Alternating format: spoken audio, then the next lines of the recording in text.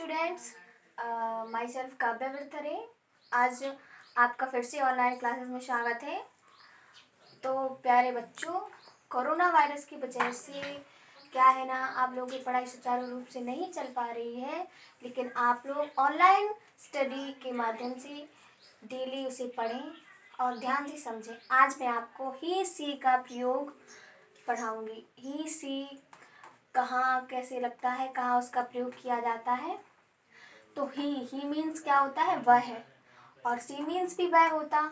इसीलिए हम ही और सी के बारे में पढ़ेंगे कि कहाँ ही लगता है और कहाँ सी लगता है। तो सबसे पहले पढ़ेंगे हम ही के बारे में। ही कहाँ लगता है? तो पुल्लिंग शब्द के साथ ही का प्रयोग किया जाता है।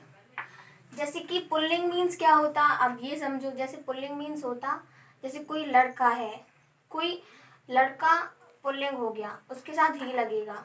जैसे कि ब्रदर है फादर है फ्रेंड है, इसके साथ ही लगता। जैसे कि एग्ज़ाम्पल में, वह मेरा भाई है। तो भाई यहाँ, जो भाई है ना तो वो हो गया पुल्लिंग। तो उसके साथ लगेगा ही तो यहाँ बनेगा वाक्य he is my brother second है, वह मेरे पिताजी हैं।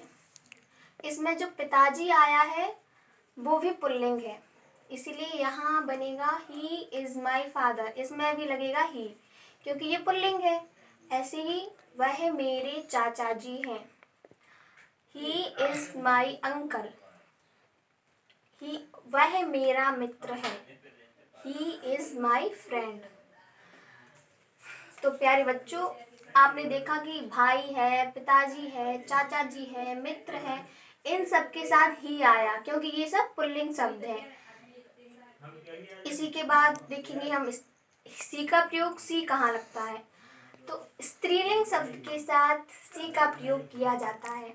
स्त्रीलिंग मीन्स स्त्रीलिंग क्या होता है?